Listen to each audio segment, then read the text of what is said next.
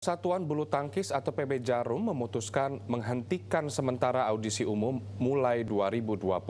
Hal ini menyusul polemik adanya dugaan eksploitasi anak yang disorot Komisi Perlindungan Anak Indonesia atau KPAI.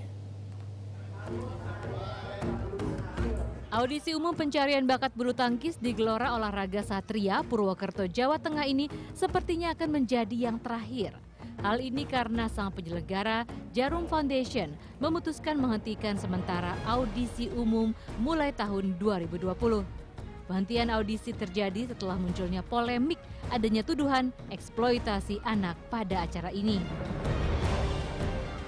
Sudah berkali-kali ngomong bahwa kita adalah uh, bukan produk tembakau. Mereka selalu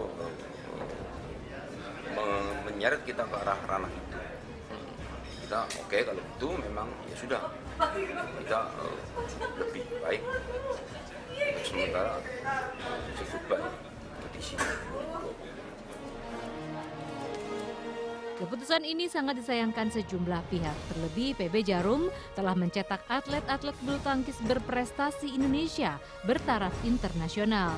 Sebut saja legenda Lim Swee King, Muhammad Ahsan, Kevin Sanjaya Sukamulyo, hingga Liliana Natsir lahir dari perkumpulan bulu tangkis PB Jarum. Ya saya merasain dulu, zaman saya di Manado belum ada audisi tuh. Saya harus susah, karena apa? Orang tua harus mampu. Apalagi dari Manado, biaya untuk ke Jakarta, tiket pesawat aja udah berapa? Belum penginapan, belum kalau diterima, kalau nggak diterima pulang lagi itu sih nggak ada sangkut pautannya buat masalah rokok ya karena emang mereka itu melarang banget buat rokok buat semua atlet merokok. Jadinya menurut saya sih wah, itu benar-benar menyalahartikan. Namun KPAI menegaskan bukan bermaksud menghentikan audisi bulu tangkis. Dikutip dari laman detik.com, Ketua KPAI Susanto menyatakan pihaknya akan menegakkan aturan yang mengatur masalah perlindungan anak terkait pelarangan logo produk tembakau.